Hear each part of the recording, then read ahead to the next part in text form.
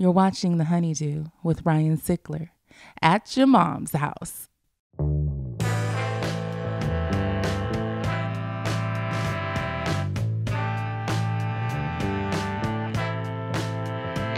Welcome back to the Honeydew, y'all. I'm Ryan Sickler. We're over here at Studio Jeans doing it at your mom's house. Uh, let's see, you can find me on all social media at Ryan Sickler. And uh, RyanSickler.com is the website. My new album, Get a Hold of Yourselves, out wherever you get. I keep saying new. I don't know how long you're allowed to say new. It was November. Is it still new? If you had a kid, it'd be new, I guess. So it's fucking new. Go get it wherever uh, music is available. Uh, dates this weekend, Phoenix, House of Comedy. I'm going to be out there in Phoenix. Uh, that's the 4th through the 6th. April 26th and 27th, I'm in Vegas. May 16th through the 18th, Edmonton. Coming to Edmonton. Finally locked it in for you, Canada. Passport's still in the mail, so we'll see if I'm really coming. Um, and then June 13th through 15th, I am with Tom Segura over there to my left. Richmond, Maryland, and Atlantic City. Um, and then Tulsa, Wichita, and Kansas City. I got to look at this because I can't remember it all. And then August is House of Comedy. Um, as you can see, we now have video here at your mom's house for the Honeydew. Um, subscribe to the Your Mom's House YouTube channel. Download, subscribe to the podcast, all that stuff. Oh yeah, merch. I had to turn the page to even tell you what I'm wearing. You guys have been asking me for merch, so merch is available. Go to the honeydewpodcast.com. Hoodies, t-shirts, some stickers, starting easy. You know what I'm saying? We'll see how excited you guys are about it. Um, email me at honeydewpodcast at gmail.com. Follow the show on social media. Facebook is the Honeydew Podcast. Twitter at Honeydew Pod. And I want to say to all the Crab Feast fans, yes, we are taking the feed and, and creating its or, all the episodes and creating its own feed. So just be patient. You will get them all everywhere for free. I promise you that. That's coming. Um, so you know what we're doing over here at the Honeydew? We're laughing uh, at the dark times, the hard times, the not so fun times. But uh, these are the stories behind the storytellers. And today, my Honeydew is a Crab Feast favorite. It's got the best goddamn ghost story I've ever fucking heard in my life. Got the best goddamn podcast I've ever heard in my fucking life. Ladies and gentlemen, please welcome to the Honeydew, Keystone Karen Kilgariff, everybody. Thank you. I'm proud to be here. That what a, what an introduction. Well, I'm sorry to make you sit through all that. I always feel weird about that. Look- People just sitting over here while you're sitting there saying all that stuff. And plugging yourself the Yeah. whole time. While somebody's sitting to your right. You didn't even try to reference me in no, any way. I didn't. Whatever. even try Good to luck get on you. those road dates, Ryan. Uh, thank you so much for being here. I'm very excited to sit down with you. But before we get into it, will you please let everybody know whatever you want them to know about you, Karen Kilgariff, where they can find you, social media, not that they don't already know. You know they well, I'm just on Twitter at Karen Kilgariff. Um, I left Facebook in You a did? in a huff. Uh, What do you mean the- in a huff? In the I just had a realization. I think it was um, 2011, and we were all sitting in a writer's room, and everyone was talking about all the weird things that they had been experiencing on Twitter, or, or I mean, Facebook, or the bad things, the fighting, the whatever. And I just was listening to everyone complain, but knowing that no one was going to get actually get off it. They were just complaining, and I just opened my computer and hit delete. right there. Yes. I just did it knowing, and I also, it was because I was recently divorced. So I knew I was going to get myself in trouble on Facebook. I knew I was going to do something that I didn't realize was wrong until like someone else told me they saw it or something. Like, in, like what? What was your biggest fear? like, like, I, well, I have a problem. I think it might be like a comedian thing, but especially with texting and stuff, I just will never stop texting. I will just keep on riffing jokes. And that's kind of my favorite way of communicating. So, like, if someone answers me, I'll just keep on answering. And it took me working with like 23 year olds for them to be like, no, don't do that. Like, stop answering. The younger generation You have to to stop first. And I was like, what? It's hilarious. I'm being so funny. Like, things like that, that are like subtleties of current, like, digital interaction that as a person from like the 80s I just don't get and don't kind of believe in. So I'm like maybe I just stay away from this. And then just on Twitter I do my jokes Yeah, then- you crush on. You're fucking. Uh, if this plane goes down, it's my favorite fucking thing to read on Twitter. Isn't It that is really how you good. feel, though? Yeah. Right as a- like, oh a- my god. Like there's just a moment where you go, this could be it, and you just have to like, what if I just have one last thing to say? You have really good remember me as someone who it just makes me fucking laugh so hard. They're really good, and I'm also like, God damn, she is flying again. Yes. Yeah, I know you're everywhere right now. You know what's funny? Uh, and this is not a good way to start a podcast. This is a great way to start a podcast. No, that was great. Oh, what you're about what to I'm do? about to do. It's just that like we just recorded our podcast at home last night, but coming off of four days on the road, back to back with four the weekend before four days on the road. I I'm so sick of the sound of my own voice. Like I'm so sick of talking and I I honestly only have like eight stories that I just kind of like rehash in different ways. Like everything about it's just like, how long can you do this? How long can you guest on podcasts before people are like, we heard this already? Stop telling that fucking ghost story. Heard that goddamn ghost story five times, Keith. Though, come on, man. You Start drinking life. again. live a life. Um, I know what you. I, I know exactly what you mean. Even with um, dating or meeting new people or anything like that, like you're always telling your story. You just get so sick of yourself. Yes. Like, oh, this happened and this happened. Go listen to podcast episode if you're still, that's what you should do. Listen to this if you're still interested. But do you ever I'll go back and listen coffee. and like you think there's podcasts that you're like, I came off great. And then you go and re listen and you're just like, I have that thing where just everything is like, shut up. That's everything I do. I want her to shut up so bad. Why do people listen to this asshole? like then you try to you try to listen to things as people you were like, oh, if it was someone you would like, like what if they listen to this? And then you're like, oh my god. Start negative commenting on your own Facebook and shit. I could have done better, guys. I could have. You know what I should have said there? I should have shut up is what I should have done there. Yeah. Um, it's getting a little uh you know so let's really dig in and, All right. and let, let's let's have me talk a bunch is there what dates? Anything else you want to say? Promote before we do that? Because just get it all out. the one thing i would promote but i don't want to i don't want to start a crosstown rivalry i don't want to jets and sharks it but we did start our own podcast network You don't want a West Side Story to but we're, i mean we could because i'm a good dancer Are you a jet or a shark? well, who are the ones that got down really low I don't know, but I'm just going to claim shark since you didn't know. You guys Okay, are fine. jets now. jets are You're cool jets. All right. i want to be with rita moreno at all in all cases I get it. um, in every way. Um, what was I trying to Your tell you? network. That's right. Yeah. We have a podcast Rivals. network also. Yes. Um, it's called Exactly Right. And that's where my podcast, My Favorite Murder is, and my podcast, Do You Need a Ride, is with Chris Fairbanks. Um, I love that you still do that. it's so fun. I love that you do that. it's really fun. You should do it. I'll do it. I'm getting ready to go out of town on a few dates. Okay, good.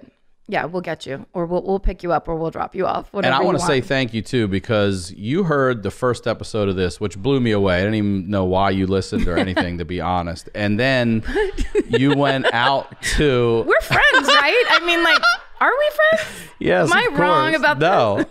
uh, but I was so just taken aback. Like people started hitting me up, like I'm here from my favorite murder, and I went and listened, and I was like, holy crap! So. Yeah, thank you so much. I know you were laughing at us shitting on uh, my mom and Steven Tyler and stuff, but It uh, was because here's here's the thing. I I love the idea of it, and I really love um, the fact that you sit on the microphone and are like, "This is a really fucked up thing that happened to me, and this is how I feel about it, and this is how I don't know how I feel about it." I think that in and of itself is a very brave thing to do, but I also think that men never do it and never are encouraged to do it. So like to sit there and be like, "Here's this fucked up thing." and like actually be honest about it and of course laugh about it but also be really really exposed and vulnerable is a really cool good thing to do Man, thank you. I hadn't even looked at it like that. I hadn't Yeah. looked at it as the sex thing. You know what I mean? It just feels right. So I didn't look at it as guys because I do. I've been to a bunch of therapy, and I do know ther- a lot of the therapists will say like, I don't get many of you. Like a lot of you guys are resistant to this. So it's good that you're even here as a positive step. And I'm like, yeah, Yeah. wait to hear what I got to fucking talk about that later. don't don't count what's my blessings. copay? What is my copay? you're Uh. gonna want to up that copay a little bit for what i'm about to do to you but i mean i just think it's the thing it's it's not that uh, I didn't mean it to be so. It's not like divisive as much as it is like the more people that do it, the more people will do it. It's not that big of a deal. I've already gotten a lot of emails about people that are like, "Thank you so much. I I, I just reached out to a therapist. I'm going to therapy for my first time because they're hearing all these other people's stories. Even me. I mean, I know my story was fucked up, but when I hear Tim Dillon and Jessa Reed and the shit you're about to tell me, I'm like, what am I bitching about? yes. Um, but the other thing that makes me really appreciate comedians even more is that we are people and people like us, not just comedians, but there are people out there that obviously um, this resonates with them. But instead of just bawling up and crying or or turning to addiction or whatever it is, we process it with like I'm gonna cry, but then I'm, we're gonna fucking figure out a way to laugh at this shit because that's all we know how to fucking do. It's all we know how to do about everything. Is quote Aerosmith lyrics as you're saying, My mother hated me. Uh, shit. It was, I mean, yeah, that Yeah. was. That was a commercial for itself right there. Well- it's just like they're doing it. you really helped a lot. I mean, I know you know your reach, so I, I can't say. I'm very humbled and thank you very much. Uh, my pleasure. Um, so where do you want to So start? let's never talk about that again. Keystone. Um, well, I don't know because, like you're saying, anytime I look back over like the span of my life, I always feel like anything I would want to talk about is like small potatoes. So you, I have that thing, especially like the stories people tell on this podcast, on similar podcasts, where people are like, "I was born in Death Valley alone, and I crawled out," you know, Crawled out. to sign myself up for kindergarten where you're just like oh i was i was basically carried all my life until i was 18 years old um, so you you know there's always that comparative thing that makes me feel like don't talk about that. I hear you, but this show is not just about you know uh, being abandoned as a kid or a rough upbringing. Uh, Jeff Danish had a great episode of just humiliating moment after humiliating moment. It's you know it's any of those times you've been an underdog, you know, embarrassed, humiliated, not just abandoned. abused you Right, know right. so it's anything then i felt the same way about myself like good god you know these people like holy shit i grew up without parents that's it you know what i mean Like, I didn't want to get into this kind of stuff with you. I thought I specified. I have heard some shit already in 13 weeks where I'm like, what the fuck? I know. Like you, you want to go like, how are you here? Yeah. When I could barely like scrape my way out of state school. I didn't. I flunked out. But I mean, like you know, I just it's not. It's I marvel at some people's like fortitude because. Yeah, I never knew how spoiled I was until I was like in Los Angeles in the real world with people um, who had not didn't have their parents standing behind them going, "What's she going to do next?" Their whole life. Yeah. So, but even within that, I think everybody is the way they are for a reason. So it's kind of interesting to look back over your life and then be like, yeah, if maybe this was slightly adjusted, it could have been a little bit easier or better or uh, whatever. And so my thing is, I just, the relationship I have. A well placed hug, you know, a well timed, hey, good job. hey, how about someone picking you up after school like once a week? I'm not even asking for that. I can get the bus. How about a motherfucking hug? Do they hug on the bus? You don't want that. No, you don't want any hugging on the bus. that's That the a bad. hug free zone. Well, I mean, we had to like that. Just immediately puts me in because we lived five miles out of town in Petaluma, California. So it was kind of country. I love. I was just up there. I love it. It's the best. Okay, I'm sorry, but this is also a super weird thing. Yes. You know what I'm gonna say? Yes. You texted me one night, it's January, Mm-hmm. that you're in Baltimore doing shows. And I respond that, holy shit, you're in Baltimore doing shows. I'm in Petaluma right now doing shows. It was the weirdest fucking thing. It was and so that's how this got born. That's right. This whole podcast, this podcast network. The whole network was because of that. Um, That's right. you're welcome, Tom Segura. Um, what camera do I say you're welcome, Tom any Segura? of these, any of these right here. He'll see them all. He's like in some weird room behind that wall. Um, well, because we are given constantly, people bring us presents at the live shows all the time, and often uh, they will bring us candy. It'll, they'll go like, "This is the oldest, best candy store in our town." um, which I'm like, please, you're killing me. Like, I love it. It's the best, but it's killing me because there's nothing better than after like a long show and you you go post up in a hotel room like forensic files and just eating salted of caramels until you fall asleep. It's disgusting. So, um, there were there was this box of candy and we had a bunch of other stuff but i was like this looks like legit because it was old fashioned um, the gold writing the gold script on the front. And when i got into my hotel room and it was like like the old widow up in bed with her feather boa around her eating chocolates.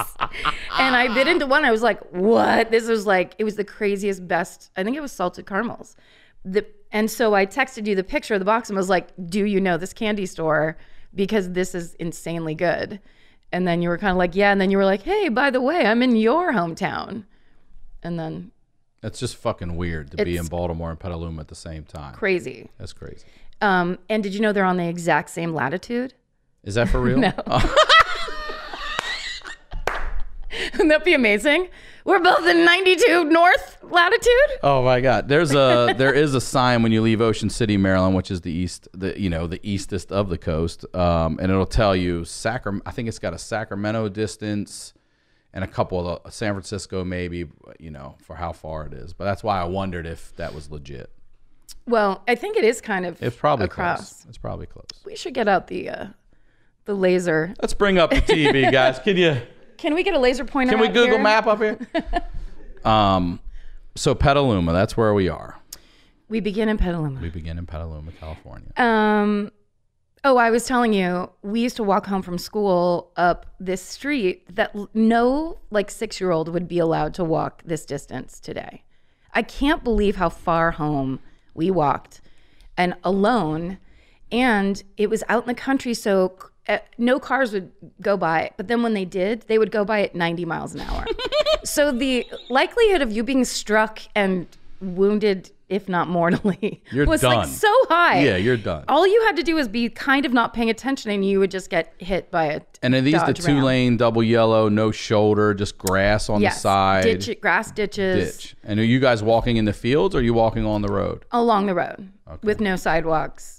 No, yeah, the, where the asphalt just crumbles down into the ditch, Where the where your body will land. where where a body will right. land and rot and never be discovered. Never be seen. Yeah. Um, and there was weird people walking on the road. Every once in a while, there'd just be a weird person on the other side where you'd be like, "Don't look over there." just like it's just so odd. You were you had a solid two hours where you were, oh, I should say, I was truly fending for myself because sometimes, six years old. yeah, well, yeah, basically because First grade. That's first grade. Yeah. And my sister would walk sometimes with me, but if she did something else, it was just like, well, then you get yourself home. How how was the age difference? Two years. She's eight. Still, even an eight year old doing that. I know. I know. Third and first grade. Crazy. Are you walking with other kids too? Most of the time, but it How just many? depended. Like three max, I would say. all elementary school kids. yes, in little packs And going it took up. two hours. well, no, that's One an hour? exaggeration, but in an, an hour. I mean, a- it was like it was definitely a mile, if not more. And it was one long. was That's season four of True Crime right there on HBO. That's how it starts. It seriously is. There's like, hey, wait, why is there a witch symbol on my back? oh, I'm dead. Great. That's actually the Cadillac hood symbol right there. I hit her at 90. Put her in that ditch over there. But I own this ranch, so you're not going to arrest me. That's right. it's like Yeah. country Yeah. law. Um, but I mean, yeah, like so they just repaved that road. So the road I'm thinking of that comes up immediately is Middle Two Rock Road, and it was the exact same like the patch, the asphalt patch vein, black veins that would come in like this, that where they've never repaved it, and just the last time I was home in Petaluma, my sister goes, Hey, you want to see something? And takes a left on Middle Two Rock, and they've repaved the entire thing. It's like, it's almost like a, Got a bike path. now. it's, yes, it's like the driveway to a rich person's house. And I'm just like, Oh my God. We were screaming as we drove up it because I, I knew every strip of Right. that street. And now it's just like, it's, it's smooth as silk. So, Did you do that for all five years, all through elementary school? So we had carpool in the morning and it was so it was basically like we'd get driven in the morning but then after school it was like if somebody had softball or somebody had some kind of project like everyone would kind of get split up and then or 4-H or whatever. You would just kind of go. You would get yourself to the next thing. Or my cousin, my heroin addict cousin Lisa would show up in her Chevy Super Sport that was jacked up in the back, blasting Stevie Nicks, and she would sometimes. Karen! In the middle of our Karen, over here! It's all right, it's all right. Come in, Lisa. Come in. Needles are in the trunk. Come on, I won't embarrass you. seriously it was so so basically what happened was I grew up next door to my aunt jean and uncle steve they were not blood relatives they were our next door neighbors and my parents like best friends they had a ranch so they had um, they had like a couple horses and then they had uh, sheep and some cows chickens geese That sounds more like a farm. it was a farm Yeah. yeah ranch is not uh, accurate i'm lying i'm lying about the size of their ranch I, I goddamn it, I asked you not to come on here and lie about ranches and farms. I want to talk about my lying problem. um, uh, they called it the ranch. That's why I called it that. Got it. It was definitely a farm, but we did 4-H. So like we like we did chickens and and sheep and raised sheep and stuff for 4-H. Did you have FFA? Yeah, we didn't. At FFA your high was school for eventually? yes, they had it we at had the it too. schools. We had yeah, it. but that was kind of for like kids whose parents owned real ranches that were going to go into that like farming Mm-hmm. as a as a job. It seemed like 4-H was more like, do you want to learn sewing? Do you want to ride a horse or whatever? It was kind of just stuff for farm kids to do. Um, but anyway, so yeah, it was just like. so my dad was a fireman in San Francisco. My mom was a, Okay. a nurse, a psychiatric um, nurse. So they both worked during the day when my dad was in the city at work. But sometimes my dad was home. So like he would, if he was there, he would pick us up. Um, uh, and then he would make us go do chores with him. like go do, he always was trying to get us to go to Yardbirds, the hardware store with him, um, which we never wanted to do. Um, but my mom worked all the time. So when he was at work, we would go to my Aunt Jean and Uncle Steve's and just like hang out um, on the farm and fuck around. And so like there were times where my sister just wouldn't, she just wanted to be by herself or wasn't talking to me or whatever. So I would just walk through fields for like four hours. By yourself. Yeah. Just walk around or like walk with sheep or whatever. walk walk near the horse for a while. But it was just like you just had to kill time and um, they would only let us watch TV for like a certain amount of time. So it was like from five o'clock on or seven o'clock on or something. And that's what's the real tragedy here. is Fucking 120 minutes of screen time, man. You believe that bullshit? there was Scooby I just Doo. milked three cats. I can't watch eight is enough. I, I earned that Tom and Jerry, you sons of bitches. I want to watch Flipper. They had I used to Flipper. love Flipper. Flipper was m- like majestic. That was Mm-hmm. my favorite show. Yeah, that was a great show. Like stuff would happen and then a dolphin would show up to help. That's the they should totally reboot Flipper. I think they did have a movie that came out not too long ago. It was Flipper. Did it do well in the box office? Did you know about it? No. Probably not. It Probably was like not. it was just a kids movie. I think so. Yeah. yeah. Um I was gonna say I was a walker too, oh yeah. and I'm blown away. You're right. That would never happen today. We walked. I'd say probably a mile. We walked um, from sixth through eighth grade, so older, a little older. But we would always gather a couple people on the way. You know what I mean? Like Yeah. this, our buddy Chris Lamb lived halfway, so we'd get him, and then we'd all go. But it was like I loved it because it was always walkers are dismissed first. They were the oh. first people to be let go out of the school. Everybody else was waiting for buses. You would sit there and they'd be like, "Bus 88's here," and if that was your bus, you'd get on that bus. But we were always first to bounce. So all the kids that lived, even though you didn't hang out with all of them, all of them are there first. And we used to have a vice principal that would drive around and make sure no one was fighting and all that. She had a Cadillac, and he would roll through the neighborhood and regulate all the walkers. Yeah, all the walkers. So there weren't like turf wars with the walkers or anything. There were no Jets and Sharks shit going on. None of that the shit. That's just right here, girl. That's right here. But you're right. I, I'm amazed at like the shit that it's not. It's not that long ago. no. But you would never.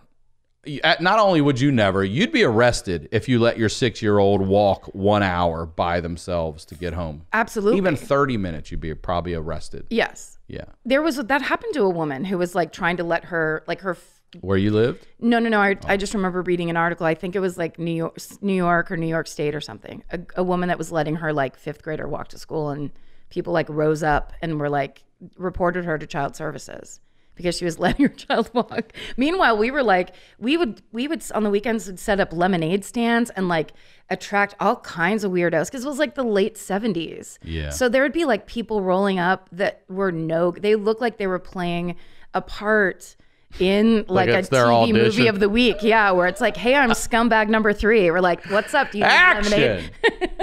Action! and they're just walking up to your weird ass lemonade stand, all No shirt, leather vest. what? What? You, rem- you, ever, you remember that? Oh yeah, because my cousin Lisa, she hung out with these people that were like, okay, this is one of my favorites. Listen, if they ask for pink lemonade, let me take that. All right.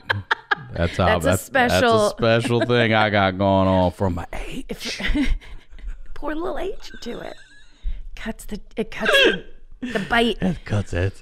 We were in drive home carpool one time with this family, the Benedettis, who are like The who? the Med- the Benedettis. The Benedettis. and okay. they ran they actually it's funny because they were just like another family down the street but their their dairy clover stornetta is now like the fancy milk at whole foods Oh yeah. so it's like the star of my hometown but it's milk i was like i'll see it in movies like or on in tv shows like on the table it's just a clover stornetta thing because it's fancy non-homogenized Benedetti's like- milk? yeah Wow. that's my carpool milk That's your. You were in their carpool, huh? that's my dairy that's were my they, home dairy Were they? Had they started it when you were? Yeah, it was like a family Okay. business. Yeah, so they'd been doing it for a while, but then it took they they got rid of all like the hormones and stuff. They were like the first people to be like, our cows just eat grass. Come and get some of this. Yeah. and it worked. But And you were like, I'm gonna go to weigh a Keystone. Like you should be fucking with our vitamin D, man. It's Benedetti's. they're like, have you guys heard of beer? You you should get into the beer business. It's so much better than milk. Um, so they were driving us home one time, and we had to go to my aunt Jean's house because my um, dad was at work and my mom was at work, and we got dropped off. And as Anne Benedetti was pulling her her Dodge K car station wagon into my aunt Jean's driveway, K station wagon. which yeah. was who just said this? Someone said those cars. I think it's Vin, Vince Averill. Those cars were exactly as if a third grade boy designed it. It's just like a perfect rectangles Yeah. sitting on top of each other. Um, so we pull in, and my cousin Lisa's standing. They're all standing around her Chevy Super Sport, like talking about the tires or whatever, or siphoning gas. I don't know what the fuck they're doing. But They're siphoning gas. Don't drink it, just huff it. That's how you get high. All right. just let, there was definitely hoses involved um, and they the group of people standing by her car were dressed and looked and had the vibe to the point where Marcus, poor Marcus Benedetti, who was at the time maybe in first grade or younger, jumps up from the back seat and goes, "Mom, drive away! The bad guys are here!" and screamed it at the top of his lungs.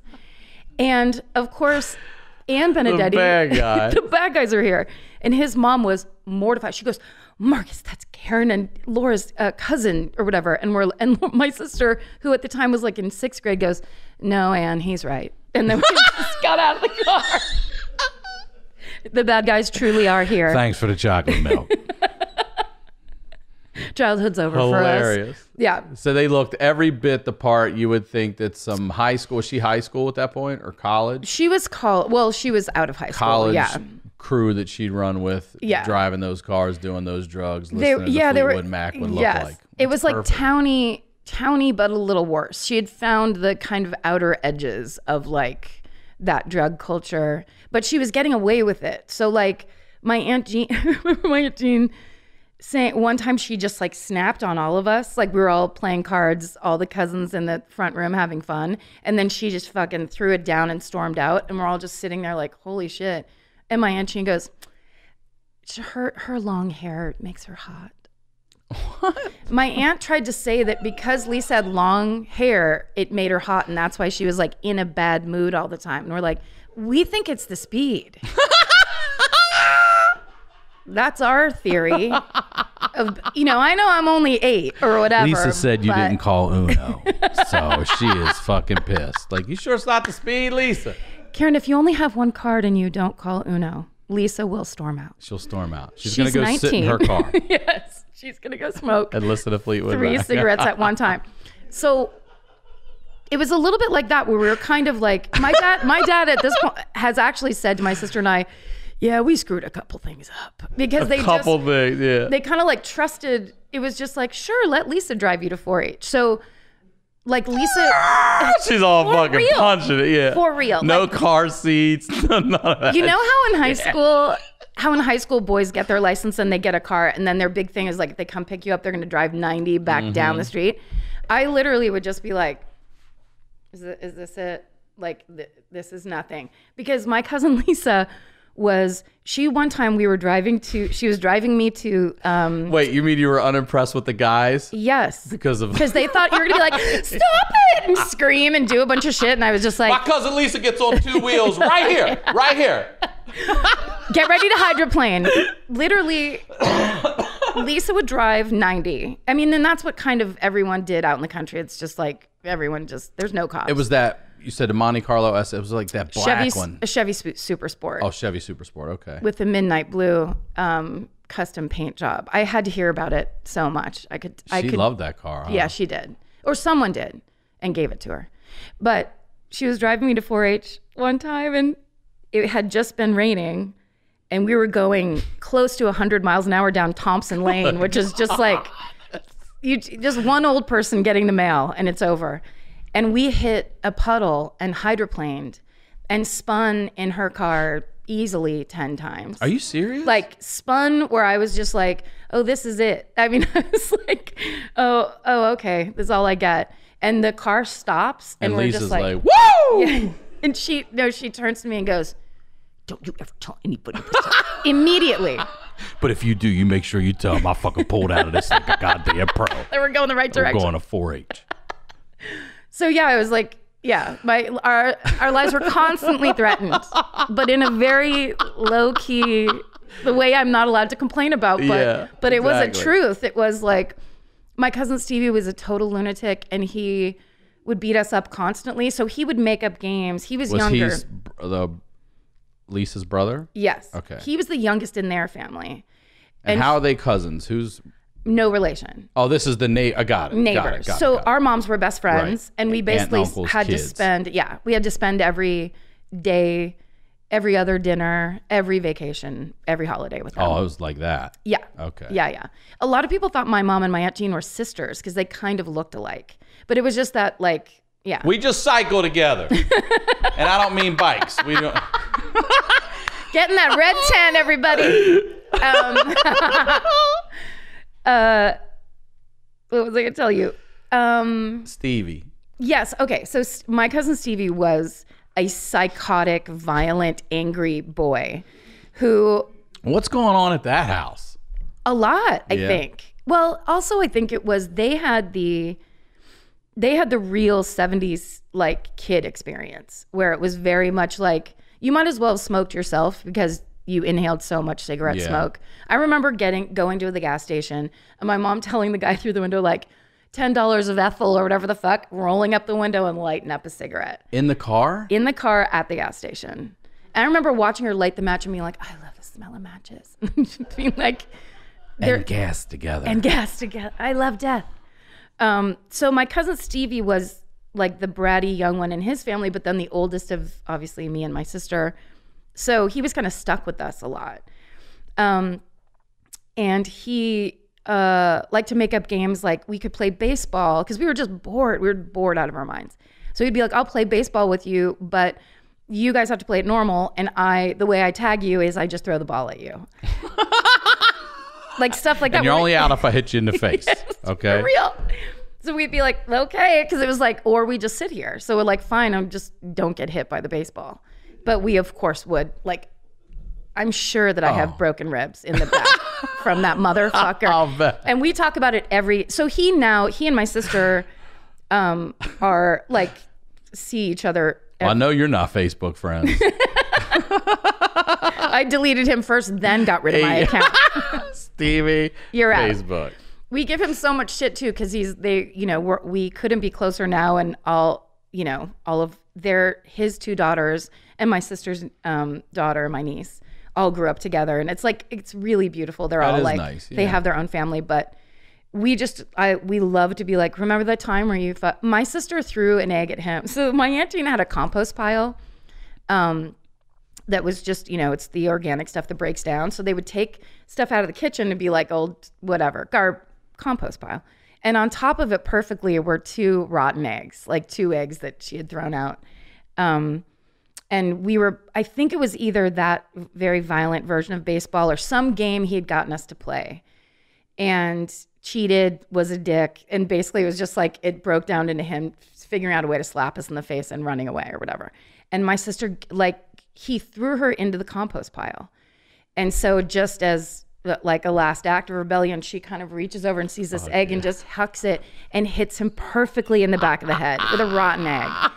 And we ran for the rest of the afternoon. We just ran Just away from running him all all afternoon. It was like you could there was nowhere to hide. It was like it was in, insane. And it was like it was like I was never scared of bullying at school because the second I got home, like the biggest most insane bully who sometimes would be like, "Hey, what's going on? I learned wrestling today. Come here, I'm going to show you wrestling moves." And then just like It's called a sleeper hole. Seriously, it just just gets slammed in the teeth. Like you're like, can't we just watch cartoons? And you're like, no, we have to God practice this wrestling thing, and just get slammed on the ground. It's called a pile driver. Watch your neck. Yeah. Um. uh. Yeah. And also, well, this is what I wanted to ask you about. Mm. So you talked about you said your parents now say, yeah, we fucked up a little bit. What was your relationship with your mom like? so it was good, but she, my mom had two alcoholic parents and was an only child growing up. So Okay. her childhood was like full chaos all the time. And basically, and her father died when she was 20, I think. Very mysterious circumstances. They think in some kind of a bar fight. Like he was a very terrible alcoholic who would get sober and like clean up and start a new life every three years. So she, they would keep going like, here we are, we made it, everything's fine. And then he would, of course, fall off the wagon and he would lose his job and he'd have to move again. So by the time my mom was in high school, she was completely self sufficient. And she was just like, don't need anybody, I'm doing it all myself. Um, and went to nursing school. And I, it was the day she was supposed to take her test to for to become a registered nurse. She found out her father had died, Oh man. and she doesn't remember taking the test. And she passed it and became a nurse. So She doesn't even remember taking it. No. Wow. she said it was just like yeah and then she basically kind of became my grandmother's caretaker because my grandma was kind of just a drunk along with her husband and suddenly now that like she didn't have anybody and so she was super dependent on my mom um, i loved my grandma though she was the greatest grandma grace she was like the queen of she's the one that um, she was a flapper in the 20s Oh, yeah. like she actually kind of lived that life so she had all those weird sayings that didn't make sense like if you walked by and you were wearing a red shirt she'd go red attracts you're like i'm, t- I'm Attracts, five attracts what, i'm grandma? five years old Attracts what? grandma Toys? no grandma no Predators? What, horses Stevie? red attracts or yella yella catch a fella or you'd be like grandma no Um, these are just rhymes, not any real truth to them, grandma. No, I mean, yeah, you can't live by them. Um, but she was fun and she was like, she was good. She was a good time grandma. She was also obsessed with Lawrence Welk and Merv Griffin. So like, that's we were kind of reared on when she she developed um, Alzheimer's and couldn't live by herself when I was like eight or nine. So she came to live with us then. So we would like hang out with her after school, and uh, um, but her and her and my mom always had kind of a contentious relationship because they had just basically it was the two of them, you know. Um, so I yeah I fought with my mom a lot because I think I watched her fight with her mom a lot and kind of figured that was the interaction like that was the best way to get really like concentrated direct attention Right. because other than that our parents were very much like the thing they'd always say is it's adult time you guys go in the other room it's adult time so you kind of like i think i learned early to just to be a problem and then you could have all the attention you wanted so i did stuff like i lit the bed on fire Wait, what? Um, you lit your bed on fire? i lit my grandma's bed on fire That's smart. A lot smarter than my like your own. yeah i was just like walking around the house and my mom was on a long distance How call old are you? like five So you got a lot going on here. We have you're five years old. We've got long distance calls, which don't even exist anymore. Don't exist. We Yeah. got the the um, yellow phone, like the maze yellow phone Yellow, that my yellow, mom was catch a on. fella. Mom trying to get on the horn. She's there. on. Um, Green, green, you know what I mean? liar, liar, but set that bed on fire. You better shut the fuck up, Grandma. Grandma, you don't know me. Uh, so my mom's on this call, and I'm just, you know, just trying to uh, make my way in the world as a five year old. I find matches in the bedroom. So I'm like, amazing. I've seen people use these. So I start lighting matches, holding them until they burn my fingers and dropping them on the bed. And of course, it's 1975. So everything on that bed is like, is made of different versions of kindling. I mean, like it's Yeah, all right. it's all as flammable as it possibly could be with an extra coating of chemical flame um not retardant but like encourager Combustible. a combustible situation a Combustible comforter set.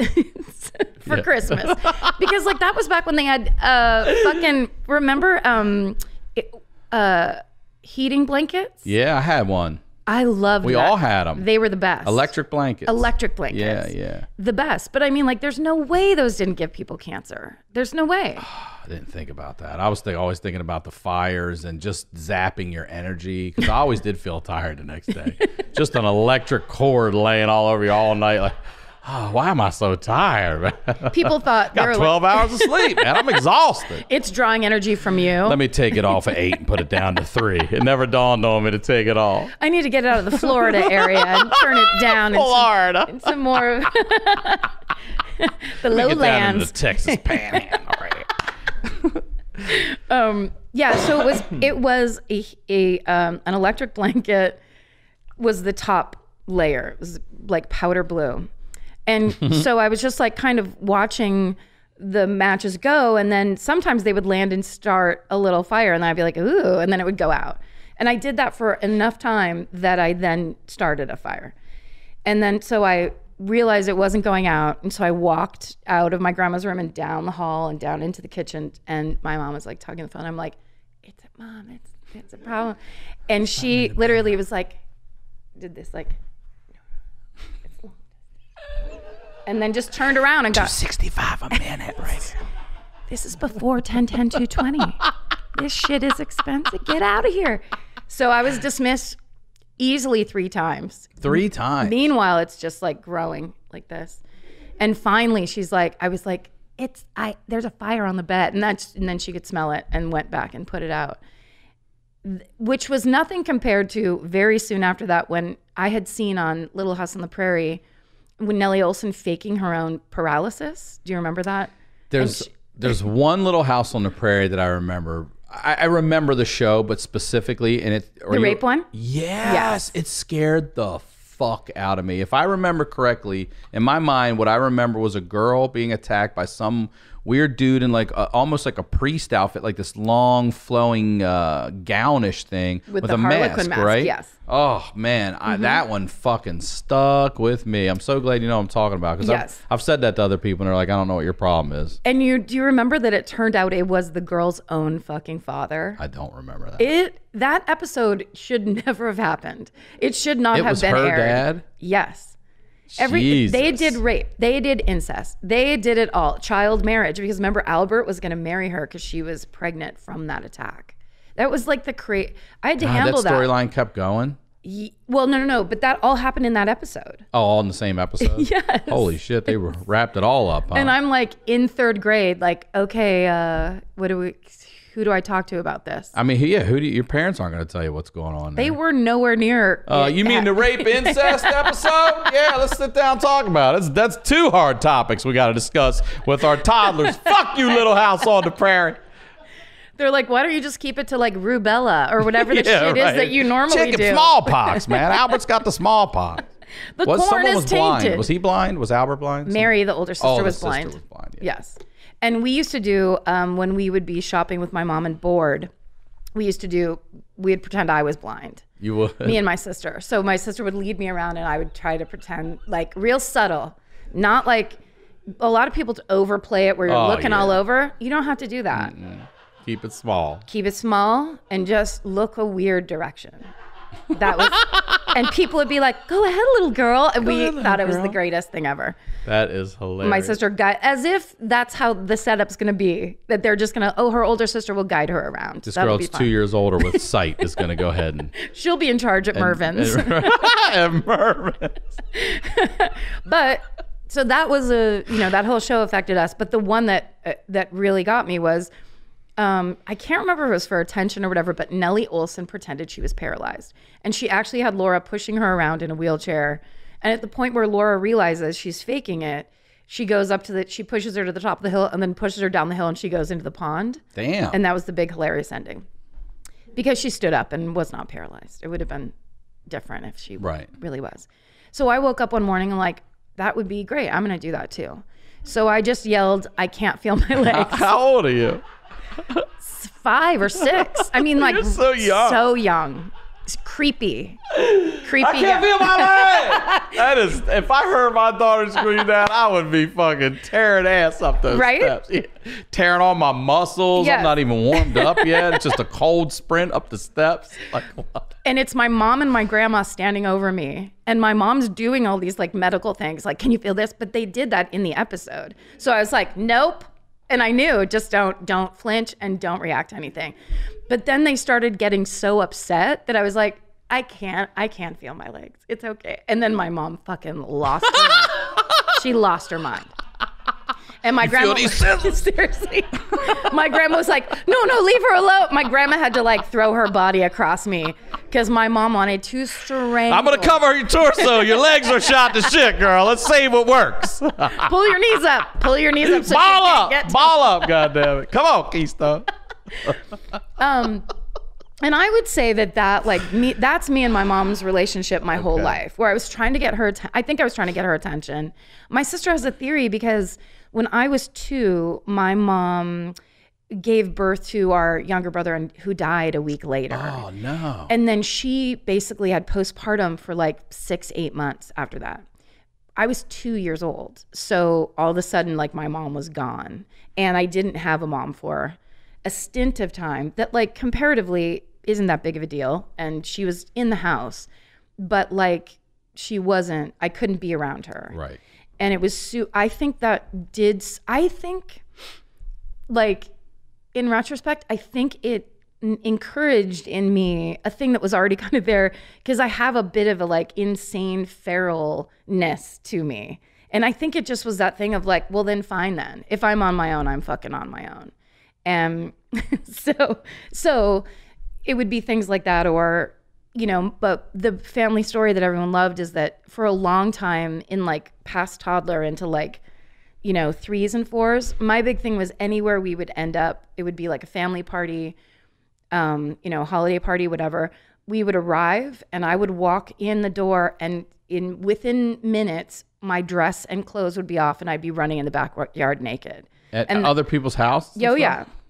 Anywhere, just like once we got there, I would just be like this, and and my mom would just be like, "Get someone, get her!" Like I did it all the time. I did it my first day of school in kindergarten At school. at school because the teacher said we did finger painting, and then the teacher said go um, because we you had to wear smocks like over your mm-hmm. clothes. So she said go go take off your smock, and I was just like, "Sounds great, like it's time." And then I just went Well, stop stopped booked it around the the playground naked. It- Naked. it oh, you went outside, not just in the classroom. You were outside. Oh, out, outside.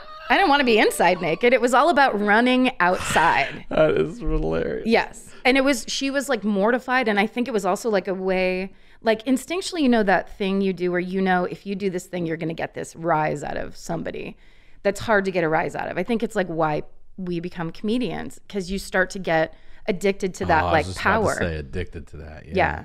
So I knew I could get her because she was all about kind of like being really cool and having it all together and being, you know, in charge. And so I was just kind of, I think I kind of lived to freak her out a little bit, um, which I did uh, all the time. but then, of course, when I got older, when I was a teenager, it, it got bad. It was It really got bad. worse. Like what?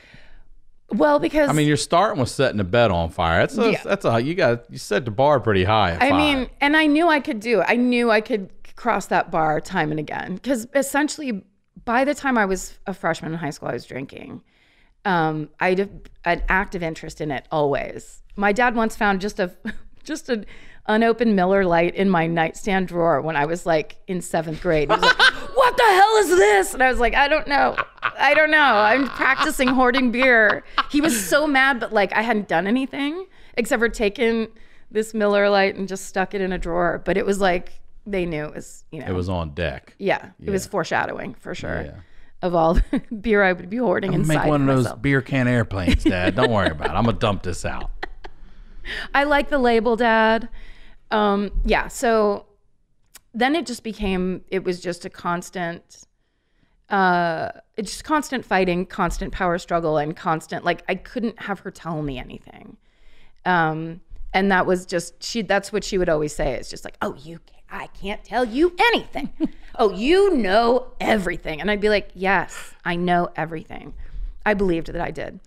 Uh, but I was also kind of bitter that she wasn't like she wasn't a regular mom like everybody else's mom. Like even other people's moms who worked still were like, and I'm at all your school activities, and I'm at all. I made you a outfit for this thing, or So she wasn't. She wasn't at the sports or any anything you guys did outside the home. She was not there. no, not really. I mean, she would show up if she could, or like if it was a play, she would be at like the first one. But there were those people who's like, her, my mom's in the front row every night, and she made all the costumes and all that kind of participation shit. And your cousin's out there. like, "Mm, we going extra innings? God damn it. Mm. He's sitting in the back picking his nails with a like a switchblade, just waiting for me to walk off stage. Switchblade. The Second I walk off stage for this production of Oliver, I'm dead meat. oh, in the middle of it, they're running in the back like, camera out front when you're done. Like, God damn, man. We're in the middle of the play. But it's like we um when I was in sixth grade, me and my friend Holly saw in the newspaper that there was going to be auditions for Oliver from the Petaluma, um, the like the town, the municipal like arts thing was called the Harmoniers and Harmonettes. So the Harmoniers and Harmonettes were were putting on auditions for Oliver, and we saw it in the newspaper, and we were like, "Let's do this thing." So we just walked down and auditioned by ourselves. We didn't ask anybody. We didn't tell anybody we were going. Like at that point in sixth grade, we're like, "Well, if we don't do it, we won't be able to get there. No one's going to drive us, so we have to go do it." And we did that. Showed up, like signed up. There was no permission slips or anything. You just were like, "I want to be in this play." Sign up, and there were kids from our school, which was the Catholic school in town, and then there was two other public schools. So it was like all the kids that were interested in musical theater were there. They fucking call my name first. I had to audition first in front of everybody of anybody ever auditioning for anything. You're the first audition Yeah, ever. the first anything. And I just remember hearing my name, and then it was just that thing of like, well, I guess I have to do this now. Like I walked all the way down here, and it was our big idea. And like I'll never, I can still see it in my mind of like getting up and walking up that aisle, and all the kids are just like staring at you, like you're, you know, like oh there she goes. And uh, you had to sing along with "Where Is Love," which is like the Oliver solo so basically to prove that you could hear the piano, like that you weren't tone deaf. And then I think I a a cappella sang like "Tomorrow" from Annie or something like That's that. That's a lot. Yeah, yeah. But you basically had to prove that you could Right. carry a tune or whatever. Um, and then you just went and sat down. They didn't tell you anything at the time. They were they And how called many everybody. how many people would you say were there? I'd say thirty or forty kids That's a audi- long time, audition. especially if you're first. That's a long time to wait to be done. Yeah, yeah, but I was at that point so relieved. I was like, it's it was like one of those early lessons of um, being really scared, but not having nobody was going to drive me home. Like nobody was going to take me out No, of that room. That was get my little stick and my bindle and get the fuck out at five o'clock. Listen, I mean, guys, the train's coming by at five, man. I got a I got a hobo at I home. got a. Anybody got a can of beans? Oh, don't worry about it. I'll find my own. no, I'll take care of the fire. Don't worry about that. I was a child hobo. I really oh was. oh my god. So yeah, it was that it I think it forced me like I know the reason why people take very good and close care of their children now, but there's a couple situations where I look back and go I don't think I could do any of the things I do now if I hadn't kind of been forced into these independent situations where it's like okay, you can either quit or you can do it and you're scared but you still have to do it kind of thing. So in a way, it's good. But I was very bitter about it at the time because I just wanted like a Marion Cunningham style mom that was like Right. always sitting Norma there. Arnold for me, Wonder Years mom. Yes. Yeah, you went Happy Days, but I hear you. Yeah. Yeah. And Right? am I older than you? No, we're same age. Oh, I'm 46. you just you like that. You You're like the, you like blonde. You like the blonde mom. I just liked her. Like the, the it still stands out. No, it's, I, it's funny. I don't. I I I guess I don't not like it. Beautiful's beautiful. But the one that stood out to me was when she held up the tidy whities and goes, "Kevin, I got you new underpants." You know, just humiliate. Like I did not have a mom. Like, I like I said, we didn't get hugs. You know what I mean? Definitely weren't getting underpants. yes. And I was just like, she bought him underpants. And that was it for me. And always like, but there were always those moms that knew us in the neighborhood, and they always were those moms to us because I feel like they f- uh, felt sorry for us and they were good moms. So you could go over anyone's house and get a sandwich or swim or hang out and get that. Yes. You just weren't getting that at home, you know? Yes. And, And I, I- bet it's like sorry is a part of it, but I also bet they loved you and they wanted to make No, sure that did, you were like, sure. you know, right. there's that that mom thing is like when they get it going, there's plenty Yeah. to go around. Yep. Like, you know, I'm not going to shoot another one out, but I'll come on in here. I got You hugs get in for here. days. Yep. But I, I think the same thing though. Like if my father hadn't died, if that hadn't happened with my mom, I don't know that I'd be sitting here talking to you. I don't know. It's hard to gauge what it. If you're, we say doers. If you're a doer, if if you're a person that got up and went after it, it's hard to gauge what the hardship, taking that away, how it would have affected you. You know, would Right. would you, would you be the same person? Maybe, maybe be the same person, but I don't think I would.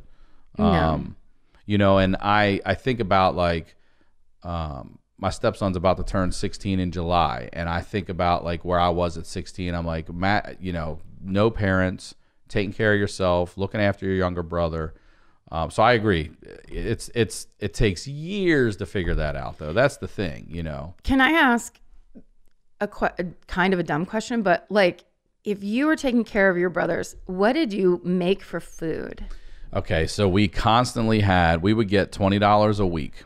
That was our allowance, and that came from because my dad. We were all minors when he passed, so there was some kind of something from his work, a, a check that came. But my mom knew, and she took a PO box out so that we couldn't get the money. So she would just give us twenty dollars, and we got and he and my so I got twenty, my twin brother got twenty, my younger brother got ten. He he we were driving was the reason we got extra for gas money Okay. because we were driving them to school and ourselves to everywhere, driving to And live. going to get yourself underpants. yes, underpants.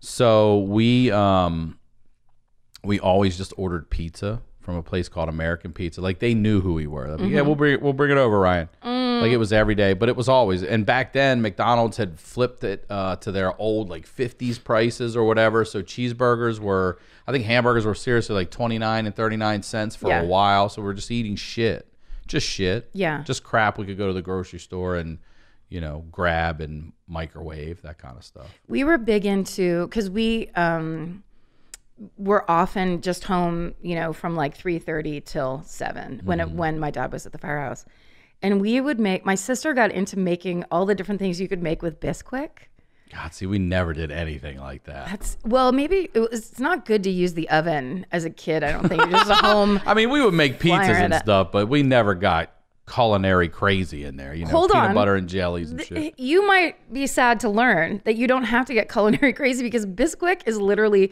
Bisquick and water, or sometimes an egg, or sometimes oil. It's just like the combination of those three things, and you could fucking make anything. Put like whatever ingredient you want in it. Sure, you could have a savory biscuit, you could have a sweet one. It was hilarious. They sponsor this podcast, Bisquick. I don't know if you know that. Bisquick for abandoned children. Biscuits for abandoned children. We would just sit there and eat biscuits like we were manual oh, laborers when we did nothing all day. Fucking watching Star Trek and eating Bisquick.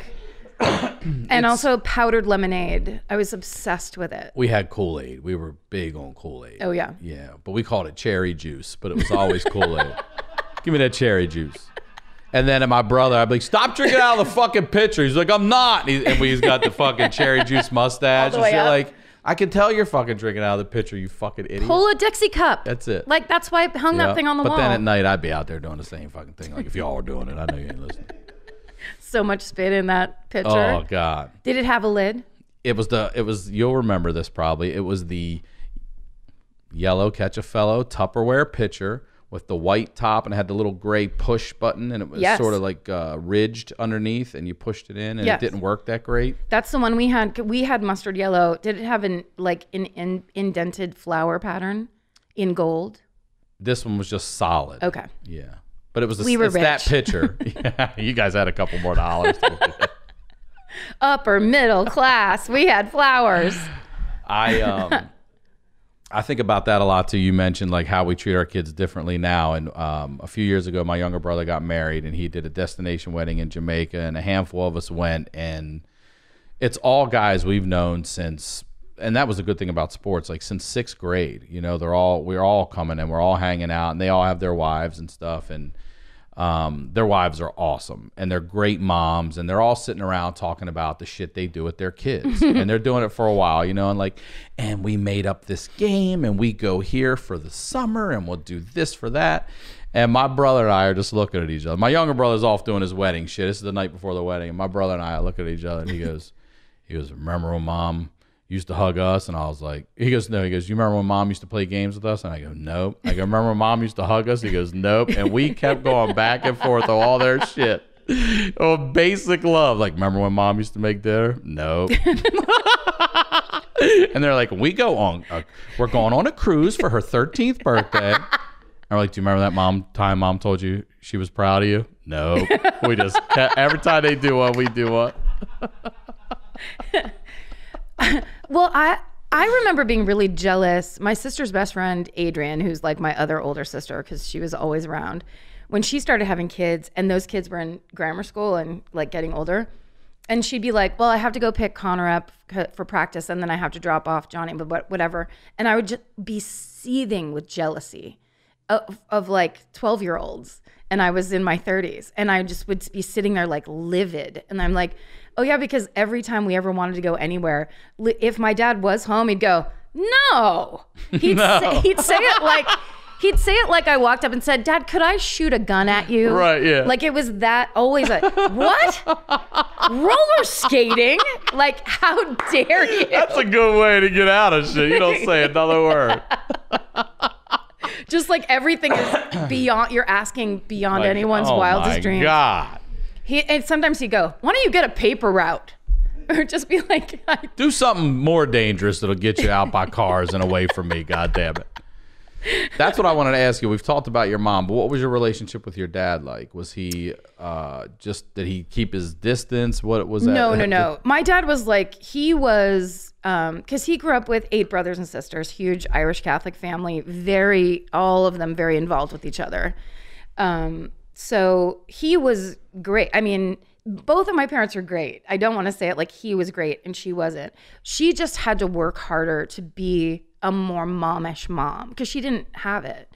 So she didn't know it. She was it was like a cool cocktailer from the 60s came and raised me. So it was just that thing of like, oh Karen, don't do that. there was a lot of that where you're just like, great. can I have a how about you help me out? Tell me how to do it. Walk me through it once and I'll be Oh, okay. But it was always like, oh, that's right. You know, smoking off on the side. Which was good for later. Like then But I was had she the disciplinarian? Like when you're doing all this shit for attention and getting in trouble, was your dad weighing in too, or was he just like you deal with that shit? um they couldn't deal with me. I think there was like they would try to do it. We would get yelled at. I would get yelled at. But I didn't care. There was something about it where I just kind of was like it was I was very um defiant. I mean I think I was very defiant and also just kind of like I also didn't um a lot of times when I was in trouble I did not see it coming. I was always surprised like that I lit the bed on fire. The, like those things I never put together was like Right. eventually this bed's gonna start burning and people are gonna get mad at you. Never came into mind at the beginning of Let's Play with Matches. That just um, so my father had more of the he couldn't believe I was the way I was. So he's very stern and he always talked like he was always like that. But he, it, I was so used to it that it wasn't scary or intimidating. It didn't curb my behavior in any way because it was just his like normal talking voice. Like my friends used to always say, if people called me after school, my and my dad answered the phone because he'd be like, "Hello." He answered like he that's how loud he is all the time. And then I'd get on the phone and my friend would be like, "Sorry, are you in trouble?" I'd be like, "No, what are you talking about?"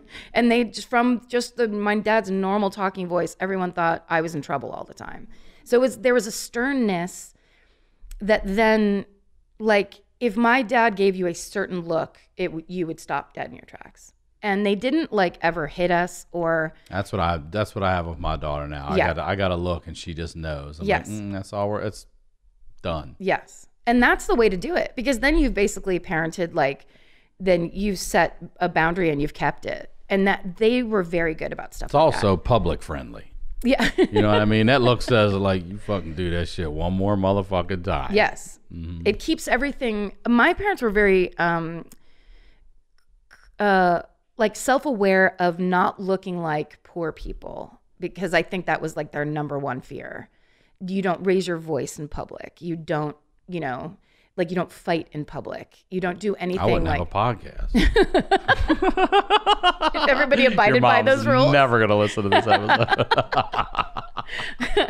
but I mean, there, it was that I don't know. They put they they instilled it early and in a way that like I think was best for raising children generally, but then could have been dialed back a little bit. Just like, yeah, I want to go fucking roller skating. I'm nine years old.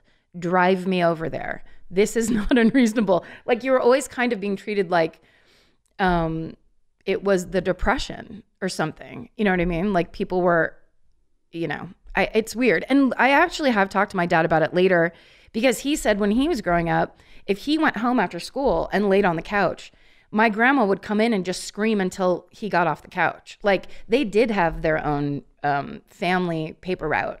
They did have jobs as kids and they all had to contribute because they were poor and there was, you know, nine kids. And that was kind of like standard. So it's like my dad just never adjusted his approach um, to like the current times or his own children or the fact that yeah we didn't need to.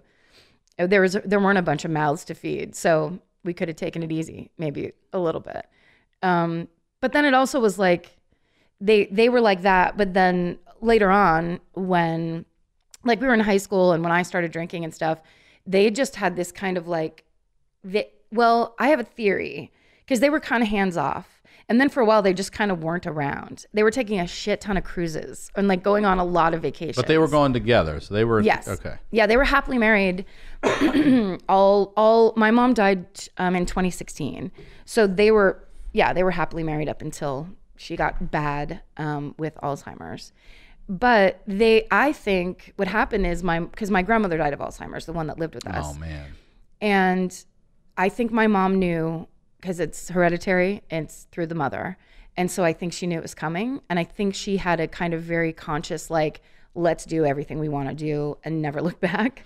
And sure, we have a high school student and uh, a 19 year old living at home, but you know, so they would be gone and we would have, of course, huge parties and yeah. just do whatever we wanted. Um, it was a little insane. My senior year in high school, I didn't go to school that much. I don't know how to how I graduated from high school because I don't remember reading any books. I don't remember doing homework at all. Like I don't. There was. I remember typing up. Um, I typing up like a British lit report about the the poem Christabel. Um, that was that I said I would do, and my t- my teacher goes, "You read it, and you want to pick Christabel?" And I was like, "Yep, loved it. It's great." She's like, "Are you sure?" And I was like, "Yeah, not paying it. Not You said Kristen Bell, right? I'm going to do a Veronica Mars paper that is going to blow doors. No, Christabel, and it is a 30 page poem. And I, she gave me four different outs of, to admit that I was lying and didn't read the poem, but I was like, girl, I've got this. And she was like, God bless. So it was, there was a lot of that, um, be, just being on my own, being, being at home and just being like, like I, I uh, applied for college by myself, filled out all the paperwork by myself, turned it in because my parents were just not there because they were on vacation. But at, so at the time I was bitter and the time I was kind of like, well, fuck everything, then I'll do what I want. In retrospect, I think it was my parents like getting their last, you know, like living their glory days basically yeah. before anything changed. Um, and then it did. So, you know, How long after that? um, Like, do you think maybe your mom was starting to see glimpses of it, or was it was it a straight up preemptive thing? Uh, I think she was starting to see glimpses of it because um, my grandmother died when at 71 with it, and my mom, uh, I think she had it. She had it early onset for sure, but I think she was getting signs of it in like her late 50s. Okay. Um, and then it really came on strong when she was like 63 or 62 or 63, where it was like, and it was, I wasn't home because I was in LA and working in TV and never went home, like only on holidays. And the first time I went home, and it was, you know, at this point, they'd had a solid decade um, of, Of us being out of the and- house. And yeah. and just doing, you know, being a retired fireman, like that, that's all firemen do is then figure out ways to hang out with each other even more than after they work together. So there was always like a golf trip or some kind of, you know, whatever. Um, there seemed to be a lot of cruises, in my opinion. Um, but yeah, so I went home for a holiday. And I think we'd all thought a lot about it privately, but never talked about it because we just knew that was a possibility. Um, and I remember coming home one time and my mom saying the same thing within a three minute period, saying the same thing 10 times.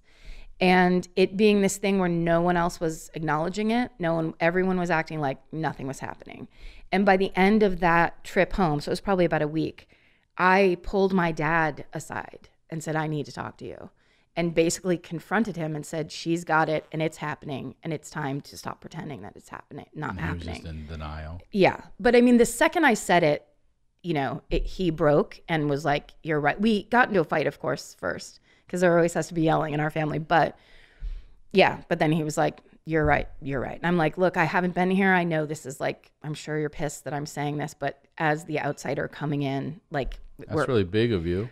well, yeah, but It's also, your mom. It's my mom. Yeah. And the change in her was so drastic because it truly was like she was a lot like uh did you watch Mad Men? No. Um, it's one of the few I haven't watched. You have to watch it. It's so good. It's so good. But she was basically just like the really cool, composed. She was the advice nurse at Kaiser for years. She was the person you called and be like, "Oh, my thing is bleeding," and she'd be like, "Put ice on it. It's fine. Don't." You know what I mean? She was Yeah. that person always. Hang on a second. My daughter set the bed on fire. Karen! Just put some ice and some bacitracin on it. I'll talk to you. And she's like, Karen, put some ice and some bacitracin on that, please. yeah, so she was like the queen of handling it. Mm-hmm. So little things came up before that, before the repetition started, and they were these weird outbursts. And the people that were around were my cousin Stevie and my aunt and his mom. His dad died. His dad died when I was twelve, which was like the first big hard thing. And then, but it kind of like bound our family together even more. So it was like some holiday, and we were all in the kitchen, and my mom was, um, you know, getting everything ready for like family to be over. I feel like it was Easter, and she put like a thing of that like nacho cheese in a glass jar, you know. Uh, no, sh- my cousin Stevie put it in the microwave to heat it up because like for appetizers, and she started screaming at him like everybody. It everybody went like no, and she was like, "You can't put that in there," and he's like. Aunt Pat, Aunt Pat, look, it's glass, it's whatever. And she was like super upset and like really angry and really, and then she kind of didn't know where she was for a second. And every, you could tell everyone in the room just got like cold chills and then didn't look at each other and didn't talk about it. And it was like little things like that that kept getting So, laced Stevie, where the through- fuck's that cheese, man? Shit. Fuck's that Everyone's for? It's a like, microwave, for "TikTok." Christ's sake. It's almost springtime. Are we gonna do this nacho Easter cheese thing or not? Nacho Easter cheese. Uh, so the you knew the indicators were there for a long time, but then when the repetition started, it was just like this is bad. I've dealt with it with a few uh, friends and, and family, and um, I remember it, it's it was a great movie. You don't know Jack? You ever Mm-hmm. seen that on HBO? The Pacino does. Um, oh come on, Mercy Killings. Oh, Kevorkian. Kevorkian, thank you. Yeah, yeah. Um, I, and they use I didn't see that. It's Sorry. so good, and the, and it, it may be too much for you, but they use real they intercut with real footage of the interviews and stuff of the people. And there was one that just again like uh, norma arnold's i bought you underpants it stood out was um, it's a woman who says she went in her backyard and she said that for 15 minutes she didn't know where she was. And she told her husband once it gets to you know a half hour an hour i'm it's time for me. Like I, if i don't know where i am for an hour like it's time. And then it you know she gets to the point where she doesn't even know who anyone is and then yeah so Yeah. Well, and no, no, I mean, the thing is, like, she, my mom would say that too, and she would say it jokingly, and she would be like, "Push me out on an ice floe." She had all these really good. polar bear me Seriously, cigarette. She didn't smoke anymore, but she always had her fingers like this. It was that attitude, you know what I mean? Of like, oh, Yeah. a little drag queeny. Um, but but when it came to that time where it would be like I we knew that that's what she would want. You, it doesn't matter what that person wants because it's all the other people that are having to deal in the day to day. And that was actually one of my favorite conversations I ever had with my sister. Because when my sister and I, when we were going through this, we were having it bad because I was down in LA, basically not there for any of the bad shit. Then I would come home and freak out because it was like coming home and being in the middle of a terrible play where you're just like, what in the fuck is this? Like, unrecognizable family situation. Whereas this was like, that was, I would invite people to our house for holidays. That was like the kind of setup my parents had. And suddenly it was just like my mom, I said this to somebody, it was like, my mom was B, the Bea Arthur of of the situation mm. all my life, and suddenly she became Betty White, and you were just like, "What the fuck?" Like that's not your personality. Suddenly she was like real airy, and she'd be like, "Oh, I saw those birds again," and you'd be like, oh, "I don't know what you're talking about." Like I don't know what you're talking about, and this isn't my actual mom. It's like a weird. Um, there, there's somebody in her place that I don't recognize and I don't like, and I don't want to be around, and yeah, so that it just increased and my sister and I would it would be really hard because we both wanted to like blame and attack each other and of course that's what you always do in a family. It's always like whoever's closest. And there was one time where I had to stay with her. It was the first time I really experienced how bad she had gotten. And I stayed with her all day. And uh, when my sister came to pick me up, and it was like all day, I mean like five hours probably, I was, it was awful. I mean, it was just like insanity. And I was crying and going crazy, and my sister just sitting there, like letting me cry in her car. And then I was like, it was so bad, Laura. You don't understand. Like, she fucking is with her every day. She understood. But I, I go, I'm not kidding. I was, I was thinking of killing her. And my sister goes, just like putting her out of her yeah misery. i understand yeah. And my sister goes, so at the time, there were um, commercials on all the time for um, what's that fucking, there's one medicine, and one of the warnings was if you have Alzheimer's, it could kill you. It was in the commercial. Is that the Chantix smoking one? Maybe it could have been that a thing. Had, Chantix. I only guess Chantix because that thing has like 500 side effects. I know. it seems like they all do now. But there was one that like specifically mentions do, you can't give this to Alzheimer's patients, it could kill them. It says it right there. Let's say it's Chantix. Okay. So my sister goes, I Spon- say that. go. I just lost the sponsorship, guys. What about? Do you want to take that cigarette out of your two fingers? Chantix. Um, I'm crying, right? And I'm like, oh, I'm not kidding. I want to kill her. I want, I want her to be dead. And my, my sister goes, Are you? You don't think I've had a Chantix moment? Yeah, right. She's like, I want to kill her every time I go over there. It would be great. That would be perfect. And then, like, she starts laughing, and I'm just crying because you want to fucking barf because you're like, what? Like, your whole, um, everything about our whole families and our whole lives and everything changed entirely. All the people that used in to. a second. in a second, like, people start disappearing. Nobody comes over uh, it's it's so fucking dark and then nobody like and you just kind of have to keep going because you know and and my father did not want to put her in a home It- he waited for so long for like i mean she had it for 12 years and she was only in a home for the last three maybe so she was at home It's a long time. Forever. it was awful.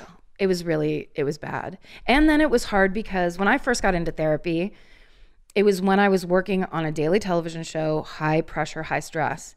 And I was there like, well, my mom has Alzheimer's. I don't want to talk about that. Um, I just want to talk about my job and like get my job all figured out uh, because I couldn't even talk about her. Like I couldn't because on top of the fact that we had lost her in this really undignified kind of like you know horrible way. I still had all these problems with her. Like I, there's all these fights that I could have brought up immediately to be, be like, well, we need to solve this, this, and this. She was really tough about my weight. She was, I mean, she was like one of those crazy 60s, like if you don't, if you don't lose weight, if you are fat, you, no one will ever love you. And that was like expressly told multiple times where you're Like just kind all of like, growing up, your whole Yeah. life. Oh, okay. so when I was starting to kind of, you know, like when puberty hit and I was kind of starting to gain weight, it was like she would pull me aside like she was giving me great advice. And I'd be like, now listen, you got to lose that weight and mm, you will never. Take some of your cousin's heroin and drop fucking 20, 30 pounds in a week. You know she's got crank in that SS Chevy Super Sport. You know there's crank in that glove box. Oh my God. So there was just those things. There was things where she couldn't let up on her idea. I remember her. She bought me a prom dress when I was a senior in high school that I loved. It was the nicest. Like I tried on all the other shitty dresses, and then I tried on this dress at like fucking Nordstrom's or somewhere fancy, and it was really expensive, but it looked great. And then she goes, "I'm gonna get it for you anyway." She did one of those kind of things, and it was like a bonding moment, and we were, you know, finally getting along or whatever. And it was, it was amazing. I mean, she splurged um, on it. And remember when we were driving home, she goes, and you can wear it next year when you pledge sororities and you go to fraternity parties. And I like, I almost lost my mind. I was just like, because at that point, I had like cut my hair and dyed it black and done all the I love the Smiths and I'd done all those things to kind of outwardly show like that's not my style at all. And she still it was almost like, I bought you this dress and now you are going to join a, a sorority. Where your it's like, sorority dress. No, who's pledging no. for a sorority and a prom dress? you. For like, well, you want me to go to a formal dance with a frat boy and his frat friends? That's I need three of y'all to bring my train in through the back right here. If you could do that, guys, I'm pledging. I'm pledging I'm Alpha pledging Phi, everybody. It's Alpha hell Phi. night tonight, guys. Who's got my train? She wore the nicest dress and she drank the most Keystone. We have to have her in this sorority. I was just like in the car going like, "What are you talking about? I'm never gonna do." Like, she had that way of. it- It was always just like you're not measuring up to this weird invisible beauty contest that was not fucking happening. And I would try to tell her like, "Mom, it's this. It's not 1965. We're not." Air hostesses, like, what are you doing? yeah, right. it was that thing. Like she'd always go, if you caught her, we'd go to like a family party and you caught her across the room, she'd go like this. Always something. Always. Always. You look like a corpse. She used to always say you look like a corpse if you didn't have lipstick on. So she was fucking tough. Like she was tough in her way. I think it was like that. That was her survival thing. She knew like this is a commodity. You you know you're a nurse and you have this job, but you also need to land a man that's got a good job, and you, this is how you earn it. Like it was all laid out very simply. I think in that way for her. So anything off the beaten path freaked her out, and she didn't like it and she so she fought me on a lot of those things where i would just be like it's too late like i'm already like this and and you made me so fuck you Yeah. like you if you didn't if you wanted me to be a proper lady you shouldn't have left me out in the fucking field for five hours every day like you you give what you get or you get what you give so yeah And you're setting beds on fire and shit. You know what I love about that? I just thought about it. Is that your goddamn dad's a fireman? your mom's putting that shit out. Long distance. It's a long, it's long distance. she, there was there were things where like i Setting up a wonder cru- I'm setting up a cruise. i'm getting more insurance for More sure. I wonder if she threw those blankets away and just never told him. Because I know there was stuff I did where she was like, don't tell your father. Yeah, I'm sure. She would just be like, we don't want, we can't send this all the way up to the Right, top. To the top. so she would cover for me sometimes. But I do think it was just that, you know, it was just like you, you, you, leave children to grow wild every day after school and they're to do it They're gonna grow wild. yeah. I um going back to your mom. I had a, a friend of mine. Um, she was 16 when she passed in a car crash, and um, I, I was talking to the doctor, and I don't know why we got to talking about it. She was in, you know, on uh, life support and stuff. When we were talking about the soul, he was. We had a conversation about the soul, and it was. He told me it was his belief. He's like, you know, everyone or most people say, you know, it's in the chest, it's here, your soul's here, and he said, I believe it's in the brain, and he said the reason was because you can I- they can put another heart in you lungs kidney they could put all this shit in you and you're still the same person. But the moment something happens to your brain and you you said that it wasn't my mom anymore. And that's that's why he's like i think that's where your soul is. And i've always remembered that. And i was like man it's it's if that's what the soul is all about then that's got to be true. It is true. you know? And and also because we watched her yeah it she um you know like what happens is you just start getting holes in your brain. And so people basically regress by like by decades. So there was a you could mark time with her. She so for a while she'd be like um, at the dinner table she'd say this all the time. She'd look to my dad and go i think i think it's time to go home. And my dad would go, "We are home. We're that's where we are right now." And then she'd go, "I know," and like pr- try to pretend like she'd always cover and pretend that she knew. But after a while, um, she would be like, "Jim, we have to." Like she didn't know that we were her children and that she wanted to go home because they were single newlyweds in San Francisco. And then there was a time where my sister was sitting on the it, couch it was so she went she would go back to memories of hers yes, That's interesting too. I, I say I don't know a ton about it, I, but that, you know, I've seen people don't know where they are or anything, but that's interesting to go back to a different place in time. Yeah, it was. That's how it was explained to us anyway. Where it's kind of like it's as the you know brain is eroded or whatever, you're holding on to less and less of like the present, and you're going back. So there was one point where my sister was sitting on the couch with her, and my the thing was she always knew my dad, and she always asked for my for my dad, which was super fucking irritating because you could be there like I'm here to be the good daughter and spend Right, time yeah. with my mom, and she'd be like, "Where's Jim? Where's your father?" And you'd just be like, "Oh, why doesn't anything count?" Everything about this disease is so infuriating, Yeah. so frustrating. But one time, my dad walked into the kitchen, and my sister, my mom, looked at my sister and goes, "Who's that?" And That's she- cute, though. Isn't that the cutest? That is cute. And my Still sister told me that. Yeah, she was like, "Mom was super into dad in the kitchen today. Like that would have been her pick." Yeah. And it felt like they. She always had that with him. She was if he was there, she was okay, which was really lovely. But then also felt bad to us because then after a while it was just like you're just watching someone leave. My mom's mom died of that, and I watched her, and there would be times where, and this is awful, but I would go, and she lost so much weight. She got so small at the end, and it was just a skeleton. It was she was so frail, and Yeah. I'd go visit her in the hospital, and um, there would be times where I couldn't take it, you know. And I, I thought later too, like how fucking selfish of you can't take it. This poor person's dying, but also I knew she didn't even know who I was, and she Yeah. didn't know if I was there for ten minutes or ten hours. Yes. And I would go and and always hug and kiss and say something, and and then yeah, it got to the point where she didn't even know what was going on. And Yeah. then she yeah passed quickly after that. And I think like it's just people say that a lot of times, like you're being selfish or whatever, but it couldn't be further from the truth because the people who are connected to the people who are sick are the ones that suffer the most. My mom didn't know. There was one time she came downstairs. She came downstairs wearing a fleece in her underwear with sunglasses on her head. And she was like, Just the top? and there was people in the living room. And we're just like, oh no, what Y'all see my surfboard? seriously. she had no idea. And then she was like, Well, what are you two up to? Or like, what's going on in here? And we're like, Mom, like, there were a bunch of those, but we Yeah. were embarrassed. So we were going, Oh my God. Like, my mother wouldn't leave the house without like the perfect scarf around her neck. Coming downstairs, like in a fleece and old underwear, was just like never, ever Never, happening. yeah. So it was that it was all our impact. It was all our suffering. And she was, you know, there were definitely times I know she was suffering, but like that is intermittent, I think. And it's so much harder for the people around that are just like trying to fucking keep it together.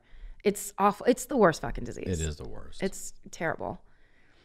Um, can we talk about drinking? Please. So Can we drink? you can drink.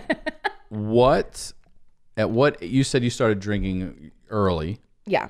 Who got you into it? Why'd you get into it? And what happened? Um, well, I mean, it was in our family. Everybody drank. It was it was a drinking family, drinking culture.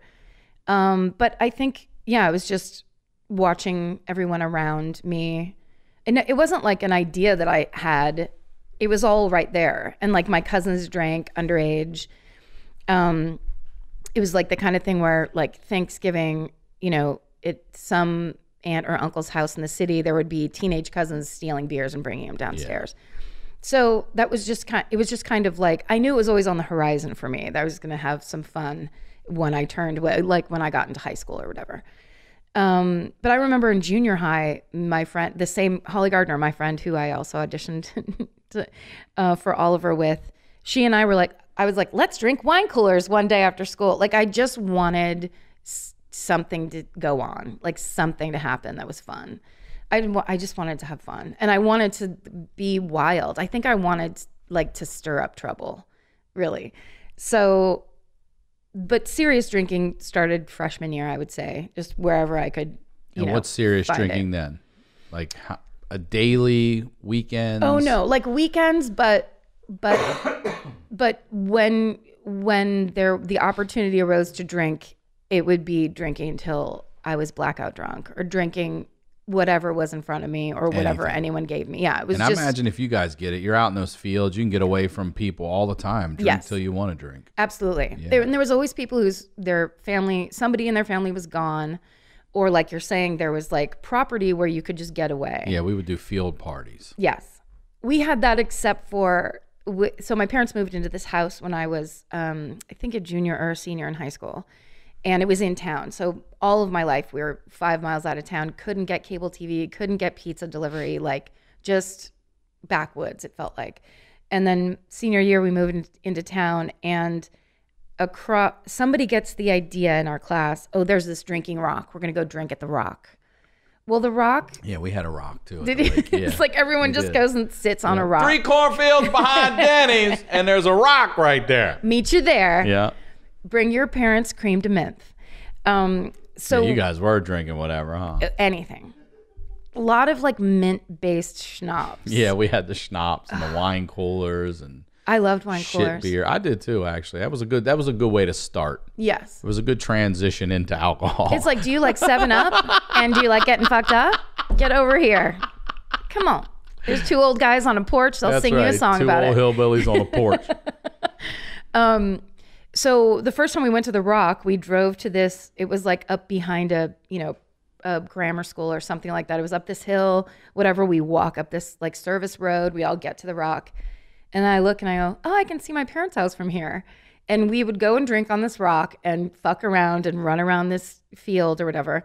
Well about five years later like when we were out of college my sister goes oh yeah we could hear everything you guys were saying out there. Like the way the our house was and the way it was just across this ravine you know what i mean? It was like Yeah. a big thing like that with an oak tree at the bottom but the it, it carried perfectly because there was nothing else going on so my sister goes we would open the back door and just listen to you guys and hear everything you'd say. and I didn't know, like, I was like, they don't know where I am and they don't know what Mm-hmm. I'm doing and I'm living my best life or whatever. And it was, we were just completely, we were like TV for them on, on like Friday nights. it was ridiculous.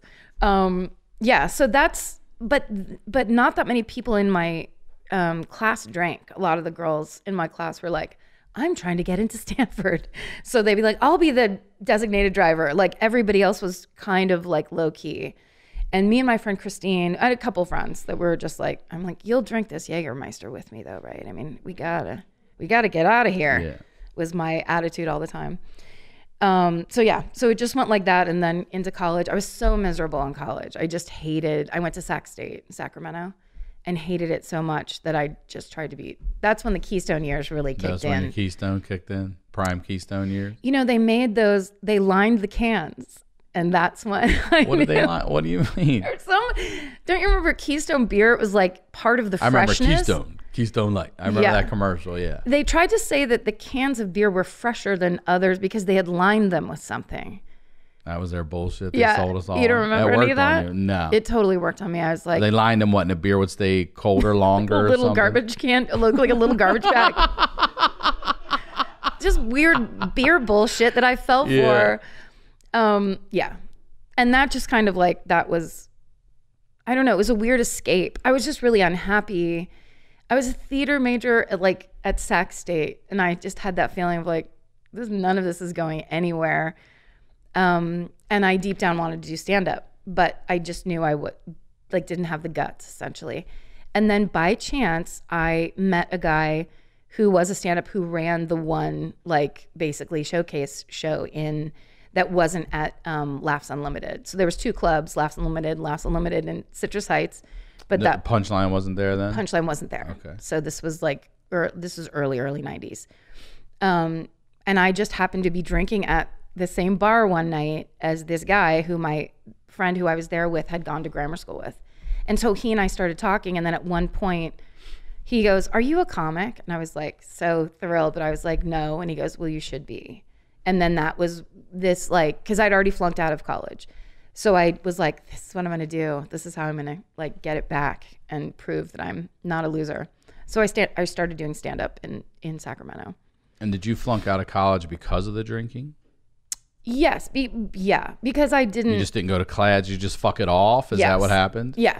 I was there and um I just realized slowly but surely realized like if I don't go to class no one's going to do anything. I, you don't get in trouble. No one cares. You Um, just waste your money. Yeah, but it wasn't my money. Right. I had no absolutely no appreciation of how much money it took for to get me there what anything. I was just like, "Oh, I'm just going to stay in bed. Oh, I'm just going to drink that beer." And it just all became um yeah, I just loved fucking off and not not doing what I was supposed to do. Um, I remembered there was a girl in our dorm the same year as me who started college and then she ran up like an $800 phone bill because her boyfriend was in like the Marines or something on the East Coast. And she just called him and like sat on the phone every night because she hated school so much. And then she ended up dropping out. And everyone in the dorms was like, what a loser. And I was like, what a loser. But inside, I was like, oh, that's what I want to do so bad. Man, that's my hero. Fucking get out of here. Um, So how do you stop drinking? What stopped it for you? How do you get out of that? And how long were you in? I was in until I was 27. So, um, all the way through my f- kind of formative comedy years, um, which I was good. It was like, you know, there was always a party. There was always there was always drinking to be done, especially in San Francisco at the time. I'll bet. When I moved to San Francisco, it was, you know, it was a party group. It was like Greg Behrendt, um, Patton, Blaine, Brian Posehn, um, Laura Milligan, like all the people I hung out with, everybody was just serious. And then my friends um, that I lived with, we all just, that's all we wanted to do. That's my favorite thing in the world was a Budweiser tall boy. Like after my shift at the Gap, at the Gap, you know, when you really want to crack one open because you've just post Folded. Gap. Yeah, I You've folded so many sweaters that you've earned it.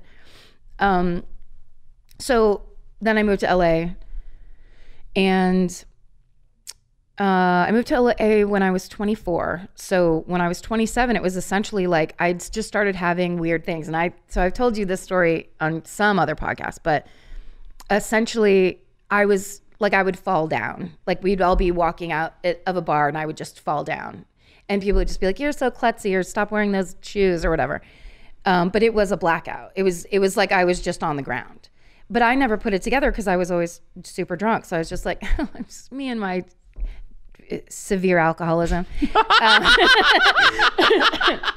so so then uh, it escalated to where I was waking up on the ground um, in the morning. in the morning. In the morning, I would wake up next to my bed, and I started waking up with bitten tongue, and um, I also one I remember very clearly one night having a dream that I was a spinner dolphin, like coming up out of the water doing this. Uh, That's back to those flipper days. yeah, for real. He was with me It all always. ties back. Flipper, flipper. Also, best theme song. Had a good theme song. Really haunting, almost. A song by a dead child. Did you know that? No. What do you mean? oh, is that not real? nope, it's not real. so, uh, uh, okay, so then the one morning, we- it all took a turn when the one morning I woke up and my tongue was super bitten as usual, whatever. I'm all hungover, immediately light a camel light. Like, smoking, it's so crazy how common and like just everywhere smoking was back then. Everywhere. Everywhere. Everywhere. And I would smoke in this studio apartment, like just sit up in bed with like a bed made of laundry, dirty laundry, and just like sit up and smoke a cigarette. And I remember calling my friend and being like, God, my tongue is so bitten. It's so crazy. I'm bi- biting my tongue in my sleep. And then I turn and look at the wall behind me next to the bed, and there is a spray of blood across it. Huge. And I am just sitting there, and my friend's like, Anyway, did you see that guy I was talking to last night? And I was just like frozen looking at this fucking display of blood. And I was just like, Uh huh. And I just went and get a sponge and just washed it off the wall. What do you think you do? Just bite and spray? What do you, is that what you Yeah, think you do? Spit it all you- over the place? Yeah, when you have a seizure, you're just biting. You but bite You're down having like that. seizures. Yeah, that's what was happening. Ah, That's what I the- think you did tell me before. It maybe you did. Yeah. Yeah. So you, that's why you're waking up on the floor. You're you're Yes. coming. You're falling out of the. You were in the bed, or you never made it to the bed, or you don't know. Oh, sorry, because I'm combining this with drinking. But yeah, and that's why it was hard to like figure out in the beginning because I was always attributing it to being drunk. You're right. But I was seizing and falling on the floor, and the the But was it related to alcohol? well, they thought it was Right. I mean, I'm sure it was because I know a lot of people that drunk black out and they don't have seizures. well, but I also was taking the diet. Chantix. Don't take if you're an alcoholic. Could cause blackouts and seizures. Um, Chantix will kill you, but use it. Could actually. Um, uh, no, no, it. I was taking uh, diet pills, fen-phen, which was like the big thing in the '90s. I, I remember hearing how terrible that was. it was very, very bad, very bad for you. and I tab. you weren't supposed to drink tab either. Yeah. and certainly not in combination. No, God no. Um, but I was taking it before it was fen-phen, when it was just the upper fen. So fen-phen was a cocktail of upper and downer because the upper was so fucking strong that they had to start um, prescribing a downer to go with it so that you weren't just like screaming at the top of your lungs all day. But I was there, I was an early adapter. So I was just there for plain old fen when it was I was a lunatic every day. I mean, I never slept. I I never stopped talking. I was never not on the phone on like the cordless the cordless phone at the kitchen table, like Yeah. fucking rolling calls and being like, "Where's your show tonight? then we're gonna meet at El Compadre. Dinner drinks at six. Like every day, Yeah. calling everybody to let everybody know what the plan was. And I just kind of backed that right up to having these experiences where I was like dropping and I was like, these crazy platform shoes, I have to stop wearing them. And everything I could kind of explain away of why it was happening. So then, like the spinner dolphin thing later on, I was like, oh, that's because I was just flipping circles in bed essentially I see. um, and landing on the floor and the biting. So once that So just from not just, but from the biting and then the seizing, you're spraying the wall. Oh my god. mul- multiple sprays. Oh my god. it was it was one of the most disturbing things that I kept to myself. I was just like, well, Now it's an Instagram story. yeah. now now I would I would already have a film deal if Yeah, it was fucking would. these days. You You're like um so I just wiped it off the wall and didn't say anything and basically then started having what my aura is, which is the beginning of how you know you're about to have a seizure, is my eyes start looking up to the left like that. This goes back to your being blind days. See, it all ties back. Is this God punishing me for mocking the blind? Well, I would like to say imitating the blind. Imitating, Not you're mocking, imitating. but definitely trying to steal some of their thunder for sure. And um, you would feel that. You would feel the look up to the left. You said. Yeah, because I wasn't choosing to do it. They, it was just happening. So it was suddenly like as if you were real interested about what was happening over there, but Right. And how long between that looking up and you blacking out? Do you even know? Do you have enough time to gr- sit down? Do you have enough time Yes. to? So it's usually that would be the indicator that like something's going on. And then, but I never had seizures um, unless I was in bed. So I had them, they were like, they would brought on by sleep and like changing me, um, I don't know, REM whatever the situation was in my head. I'm not a doctor, and I've never said I was. You didn't. You Um, not once said that. But essentially, it was that. So mine would always, I would get auras, and then nothing would happen. I'd be like, "That's weird that I'm looking around against my own will," and then just not deal with it. Um, until uh, my friend stayed with me one night, and it was this studio apartment. So she was sleeping on my couch, and I was on my bed four feet away over here. Um, and she thought she woke up because she thought I was choking to death and she flipped on the Ah. lights and I was having a seizure and my lips were blue and I was just like out completely out and not Still breathing. holding a cigarette.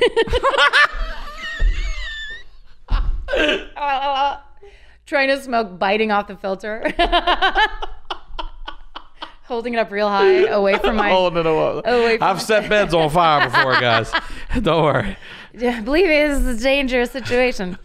Um, yeah, so so I was having grand mal seizure, and that's what had been happening, but I was alone, so I didn't know. So the, for the first time, somebody was actually there. So she called nine one one, and I know I've told you the story because this is a story where I wake up, I went to bed, and I could feel the eye thing happening, and I'd gone, it, I went to bed really late, but I hadn't drunk that night. I'd gotten into a fight with the guy that I was dating, and I just left Largo and didn't say goodbye to anybody, and just was like, "Oh, fuck you," and "fuck you," and left. Went to bed as I was like falling asleep, I could feel the eye pull thing, but it wouldn't stop. And it was pulling really hard. And then I could feel my head going. And then I just thought to myself, this is bad. Calm down and wait it out. Because I could tell something really bad was about to happen. And then the pulling was really intense. And then I just was blacked out. The next thing I knew, I was sitting up in bed and there was two insanely hot LAPD, LAFD firemen sitting on my bed with me. And I was only wearing a Dodgers t-shirt. And they were like, "Hi, do you know your name?" And I was like, "It's Karen Kilgariff." And they're like, "Do you know what day it is?" And my, my joke always is that I was like, "Is it Hot Fireman Day?" Literally, just like thighs out. It was horrifying. Got my Fernando Valenzuela jersey on, guys. hey, do you like baseball or anything? It was. I wanted to die. Also, this apartment was like it was just like one big litter box. It was just awful. There was like a cat. Everything about my life was a fucking like white flag. Someone please help me. Um. So basically, they were like, "You're fine, and you, you probably don't want to have to pay for an ambulance ride." Tripped over 27 Keystone coming in, but other than that, you're okay. But you're fine. Yeah, you're fine. You're fine in this moment. you had a party here? no, I live by myself. No, it's always a party with me, Ossifer. Um, yeah, so my friend basically drove me to Cedar Sinai. They found out I didn't have insurance, and they were like, "Thanks so much. Why don't you head on down to UCLA, UCLA booted you? Harbor? Oh yeah, Wow. um, booted me to The Chantix of hospitals. for real. Have you been there? I have been there. It is tough. Yeah. I was in a room with five other people. No, I haven't seen anything like that. Yeah, it was it was almost like how they set up emergency rooms where everyone just has the curtain around them. Right. I, I had there was five other people. This woman in the corner was dying of cancer. She was like it was her last days, Oh. and her family just stood around her crying all day and night. Then there was a lady across from me that every once in a while that curtain would be open and we'd just be like, That weird stare. "What are we doing?" can't- yeah. I was just like, "What am I doing?" My mom showed up, and she was like, I didn't remember her being there at first, and then like the first morning I woke up in the Harbor Hospital, she was just sitting next to me, like, like what the fuck? Cigarette right there. Yeah, I mean like cigarette attitude, the Benson and Hedges stare. Benson and Hedges. Yeah, weren't those the thin ones? No, those I think you're thinking like Virginia Slims. Maybe, yeah, Benson and Hedges were the really long ones. That's it. Long. If you green. had were really they good green nails- pack or something? I feel like one of my friends' mom smoked those. Yes, they were. The Always pack was lipstick like on the end of that yes, thing. Yeah. iridescent brown, tannish green Oh, green. tan. Okay. Yeah. Yeah. green. Tan. I remember a green in there. Yeah. Well, she might have smoked menthols. You might be on to something, Keystone. So she was there, super bummed out, of course, just of like, what, what are you doing? What have you been doing? Like, what is this? I remember she actually took me in to take a shower one day, like, because I was there for four days. So second day, she was like, you need to take a shower, and I got in the shower, and then she saw my, I have a tattoo of a salmon on my back that I got when I was completely shit faced drunk. Insisted And then the next day was just like, what's this about? Like, what's this story for? I like never wanted. I don't care about salmon in any meaningful not a way. Not a fisher. not don't even like to eat it. But I ha- sure do have a tattoo of it on my lower back. Um, and my mom saw it and goes, "We're not going to tell your father about the tattoo." she was just like, "What the fuck is wrong with you?" And that's when I stopped drinking. Wow. Yeah. So, and that was good. I was 27. At the time, it felt like my life was over. I mean, it felt like I'd failed myself right down, like down and out. Couldn't drive for three years um, because you have to make sure your seizure Right, medicine yeah. controls your seizures. Uh, yeah, it was just like real kind of bottom of the barrel. And they, my parents really wanted me to move home because I didn't have a job at the time. There was nothing going on. I wasn't getting like auditions or I'd a couple times gotten like jobs here and there, like little like two line parts on TV shows and stuff, but nothing big, especially after Mr. Show. And they were just like, throw in the towel, like it's time. Um, but I wouldn't do it. So I was just like, no, I I will be out of your hair momentarily. Like just let me get back on my feet. And then very soon after that, I basically just kind of like focused on it a little bit of like what am I actually trying to do? And it was I don't I like I hate auditioning. I I hate too. being in front of the camera. I just don't. You're doing what you're supposed to be doing. Look, at look at you. Yeah, exactly. Fucking boss. Come a long way. You're a boss. yeah, Mm, thank you're you. doing awesome. Thank you. Well, we're at that time. Uh, thank you for being here. Thank you for being so goddamn funny and open and honest. My Um, pleasure. Will you, again, one more time, social media, anything you want to promote, the network, all that stuff, your Jets Um, network? Our the Jets v Sharks network is it's called Exactly Right Media, and we are premiering a podcast called Jensen and Holes: The Murder Squad on Monday. You said this comes out Monday. Monday, so today, um, and that's a big kind of new true crime podcast um, that Billy Jensen, who's a true crime reporter, and Paul Holes, who's the guy that um, essentially solved the Golden State Killer Oh, okay. um, he's a, a a cop or a retired policeman, and so they're working on cold cases using audience help. Um, so we're very excited about that. That's great. yeah. yeah. That's uh, yeah. I think that's my big plug. All right. Well, thank you again. I love you. I love You're you too. fantastic. Thank you. Uh, I am Ryan Sickler on all social media, ryansickler.com. We'll talk to y'all next Monday.